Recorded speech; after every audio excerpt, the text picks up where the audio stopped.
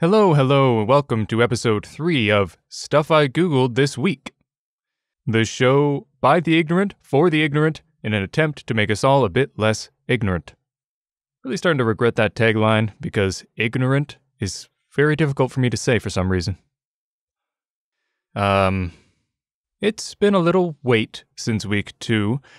I've actually been taking uh, a few days off of voice stuff. Uh, I was having a lot of allergies that were just tearing up my throat, and I was getting a lot of swelling and stuff. So, this is kind of my trial run before I get back into work work. You lucky ducks. As the weeks go by, I, I'm starting to get a little more structure to this. Uh, this week, I've actually got it a little broken down. I've got joke, topic, and then a weekly segment, and then another topic, a joke, and then another topic, you know. We're getting organized up in here. Hope you've all been having a wonderful week. You know, obviously, I'm not getting a huge amount of views on these videos, and uh, consequently, not a huge amount of comments. But if you like what you hear, or if you have any questions for me or any comments about the stuff, please comment. While you're down there, maybe like and subscribe too. But I just really want to start a conversation. Nobody else has said that on YouTube. Anyway, that's enough preamble. Let's just jump right into it.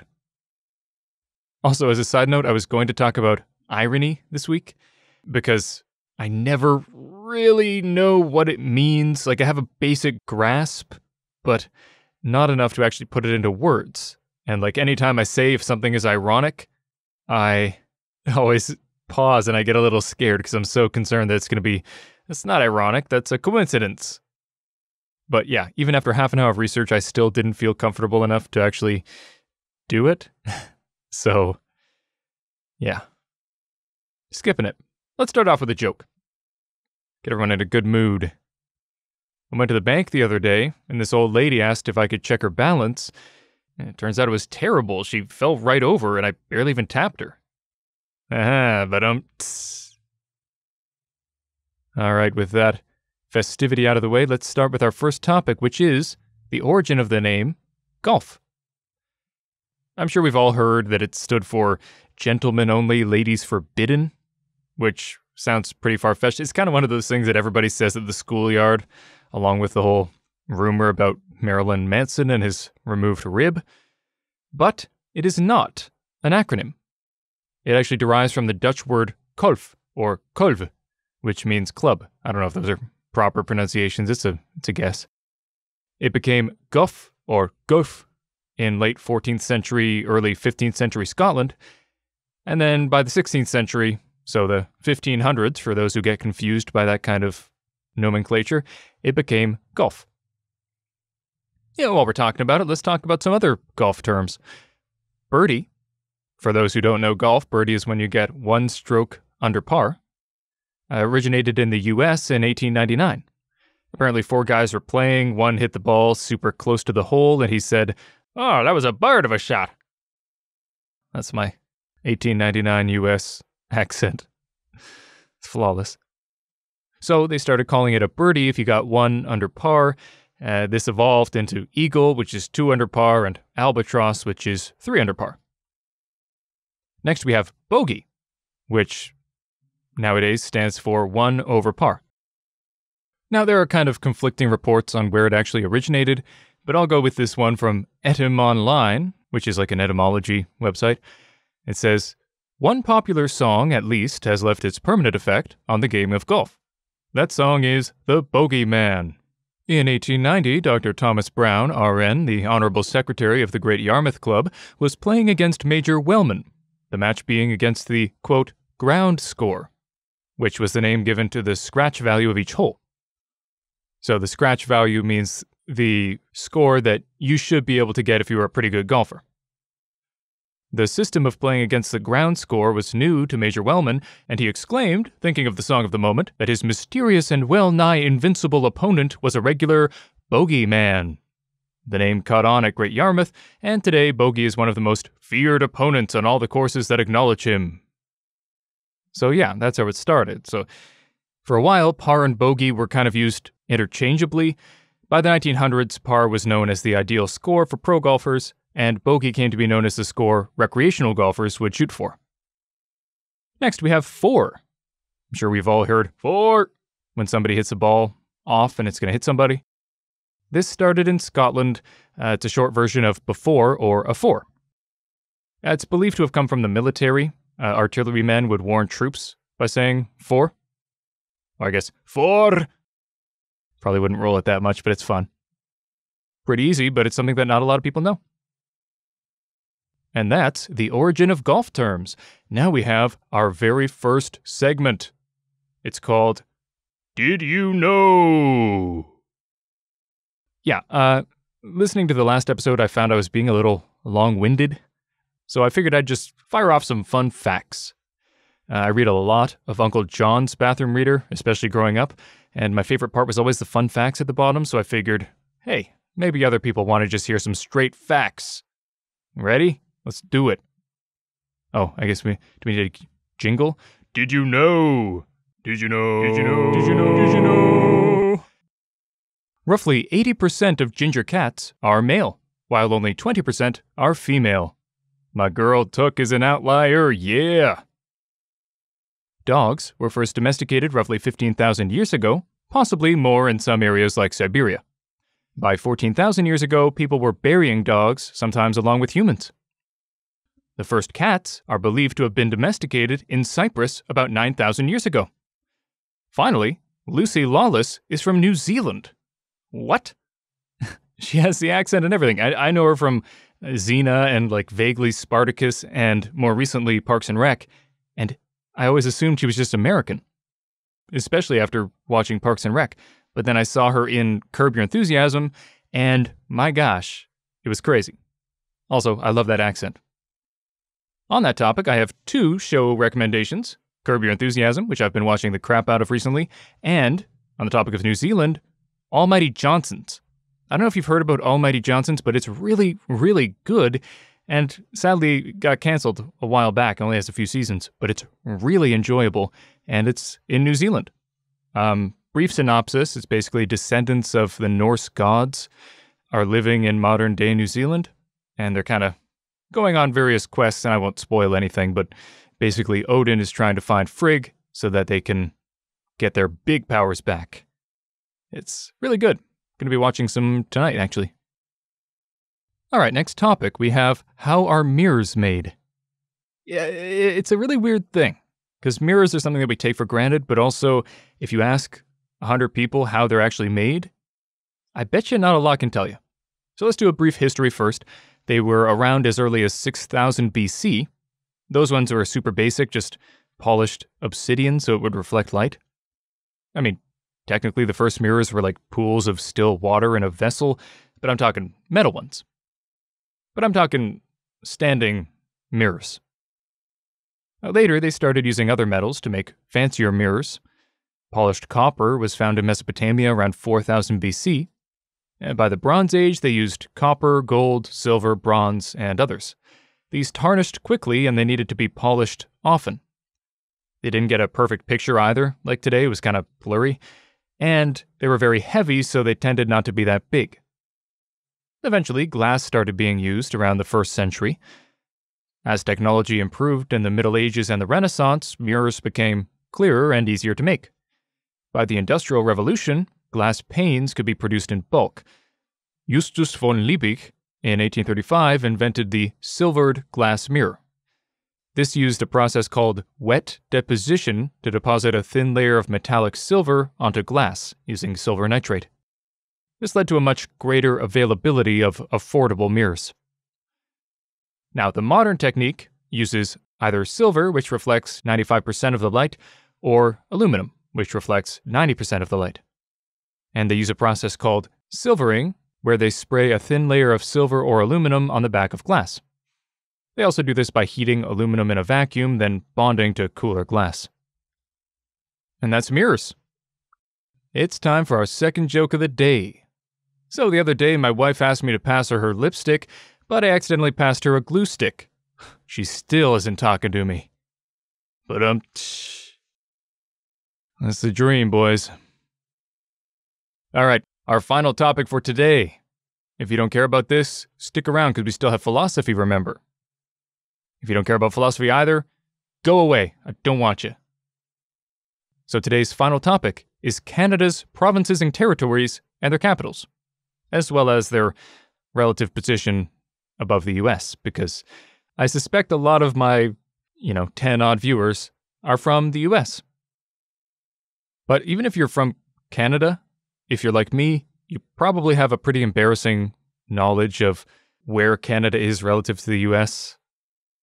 While you have a pretty good understanding of where the provinces and territories are, and you probably know most of the capitals, I bet you get a few mixed up. I bet you do. I know, for me, Whitehorse and Yellowknife, can never remember which one's which. Anyway, I'll just give the name of the province, the name of the capital, and uh, where it is relative to the US and the other provinces. Cool? Cool. Uh, before I get into that, though, let's talk about why they're called provinces and territories. The main difference between a province and a territory in Canada is that a province is a creation of the Constitution Act, which was April 17, 1982, while the territory is created by federal law. So the federal government has more direct control over the territories, while the provincial governments have more control over the provinces themselves. So for all those Americans who assumed that Canada just had states, you're wrong. And for all the Canadians who didn't know why the heck they were called territories, there you go. All right, let's start far to the northwest, just east of Alaska, is the Yukon Territory. The capital of the Yukon is Whitehorse. As a side note, there's a Calvin and Hobbes book called Yukon Ho, and I always thought it was pronounced Yuckin. It's not. Next, southeast from the Yukon and north northwest of Washington, we have British Columbia. Capital of this baby is Vancouver. Lots of movies made over there. All right, zigzagging back up to the northeast, we have, ironically, the Northwest Territories. These are in, you guessed it, the northwest of Canada, and the capital is Yellowknife. Back on down into the east is Alberta, aka oil country. Capital is Edmonton, lots of snow, even in the southern parts, and not a lot of taxes. East of Alberta, north of Montana, and North Dakota, we have Saskatchewan. Lovely prairie province. The capital makes all the kiddies giggle because it's called Regina. Yep, that was a blast to learn in school.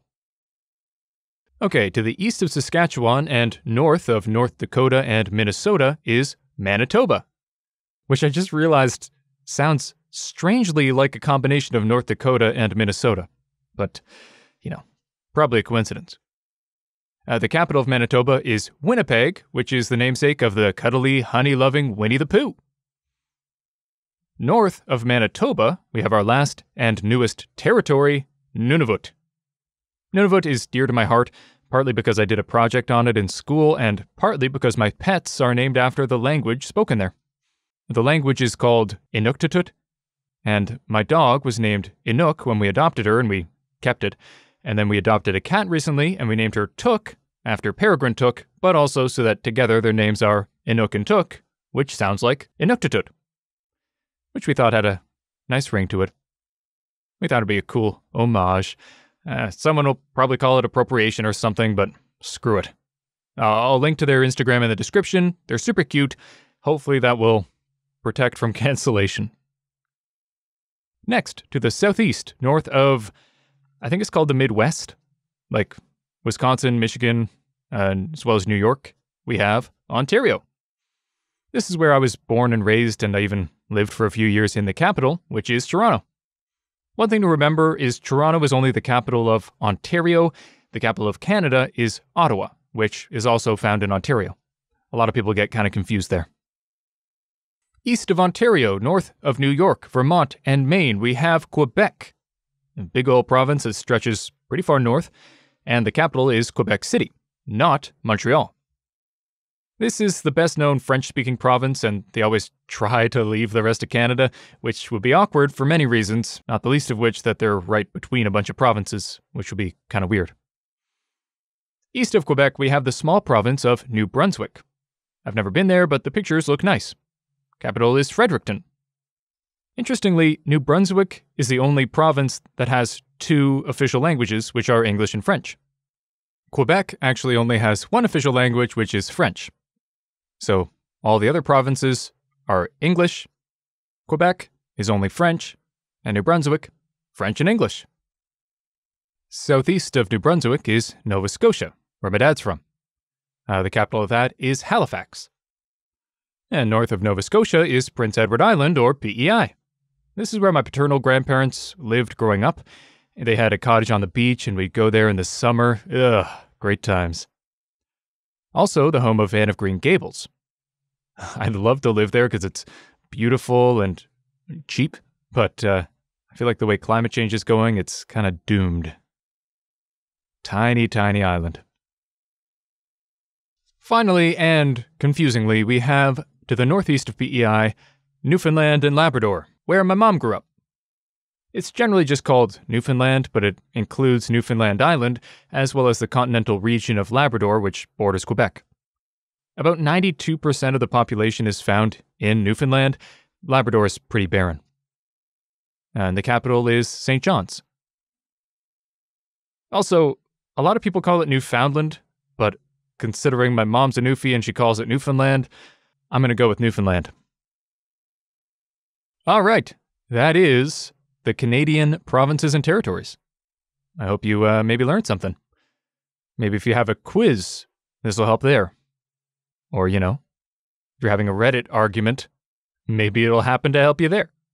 That's the best. I love when I'm in a Reddit argument and I can pull this really obscure bit of information and just, hmm, I didn't just happen to know this. No, I know lots of things. I know so much. Anyway, time for our philosophy of the day. I mean, philosophy of the day. Or philosophy of the day. Oh, oh, oh. We're gonna teach some philosophy. I don't know. I'll figure something out. Anyway, here I'll piggyback off the screw it, it's in the past thing. So, as I said last week, that was working quite well for me. If you don't know what I'm talking about, check out episode 2. But I still struggle a good deal with anxiety about the future. The thing is, with the past, there's nothing I can do to change it, so it's easier for me to get over the anxiety. It's illogical to focus on it because you can't change it. So it's easy to go, eh, doesn't matter. I'm only hurting myself by thinking about this. But with the future, it's harder to get over because I can change it. So the anxiety seems to be serving a function. Maybe if I ruminate over this problem for hours and hours, I'll think of a better way to do things and avoid failure. At least that's how my brain sees it. So, what do I do to try to get over worries about the future? What I recently realized through another cannabis inspired epiphany is I use the phrase, I wonder what will happen. This way, it's less about worrying about what will happen and more of a detached curiosity. It really helps me a lot. Not as much, admittedly, as Screw in the past, because I do still have to fight that feeling of maybe I can fix it, maybe I can avoid it. But turning it into a question of curiosity or wondering what's going to happen rather than fear or anxiety about what will happen really does help me to uh, feel less anxious about it. So give it a try. And that's it for this week. Um, my voice is feeling okay. Hopefully, it's sounding okay to you. It's been very frustrating not being able to work this past week, but I have seen a lot less swelling, so I should be able to get back to work soon. But I've actually been fairly productive. I am I'm writing a book of fairy tales.